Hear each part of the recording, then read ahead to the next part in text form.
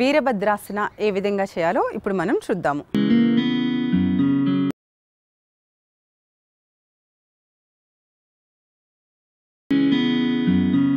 వీరభద్రాసన కోసం ముందుగా మనం ఇలా తాడాసన స్థితి నుంచి స్టార్ట్ చేయాల్సి ఉంటుంది. ఇక్కడ మనం మన యొక్క శరీరానికి అనువుగా జంప్ చేస్తూ ఒక నాలుగు అడుగుల దూరం అనేది మన కాళ్ళ మధ్యన తీసుకోవాల్సి ఉంటుంది. లేదంటే నార్మల్గా కూడా మనం నాలుగు అడుగుల డిస్టెన్స్ అనేది ఖచ్చితంగా తీసుకోవాలి. ఇప్పుడు మనం ఎటు సైడ్ మనం ఆసన చేస్తున్నామో అటు సైడ్ పాదాన్ని నైంటీ డిగ్రీస్కి ట్విస్ట్ చేసుకోవాలి. వెనకాల పాదం అనేది కొంచెం మడం అవుట్ సైడ్కి ఉంటుంది. అలాగే పెట్టినటువంటి కాళ్ళు రెండు కూడా ఒక్కటే లైన్లో ఉండే విధంగా కూడా మనం చూసుకోవాలి.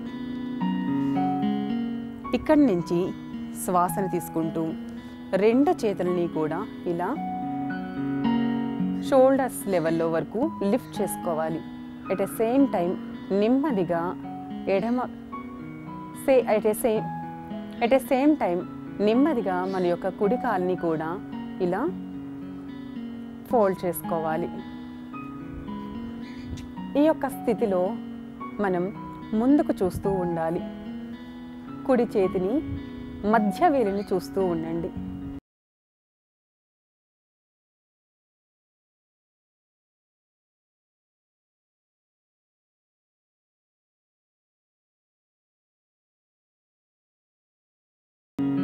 శ్వాస వదులుతూ నెమ్మదిగా కాల్ని స్ట్రైట్ చేసుకుంటూ రెండు చేతులు కూడా రిలాక్స్ చేయాలి. పాదంని నార్మల్ స్థితిలోకి తెచ్చుకోవాలి. అలాగే ఇప్పుడు ఎడమ సైడ్ అలాగే ఇప్పుడు లెఫ్ట్ సైడ్ కూడా ఏ విధంగా చేయాలో చూద్దాము. లెఫ్ట్ ఫుట్ని నైంటీ డిగ్రీస్కి తిప్పుకోవాలి. శ్వాసను తీసుకుంటూ రెండు చేతుల్ని లిఫ్ట్ చేస్తూనే ఎడమ కాల్ని కూడా బెండ్ చేయాలి.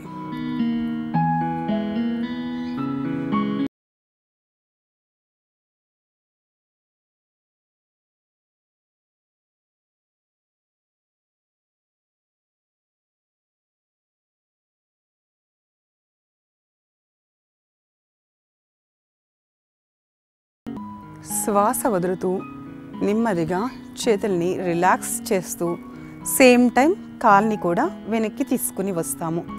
పాదాన్ని చక్కగా నార్మల్ స్థితికి తెచ్చుకోండి.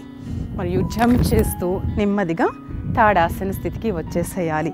ఇక్కడ రెండు పాదాల మధ్యన కూడా వన్ ఫీట్ డిస్టెన్స్ పెట్టుకుని రెండు చేతులు ఈ విధంగా ఉంచుతూ సిద్ధల తడాసనలో రిలాక్స్ అవ్వాలి.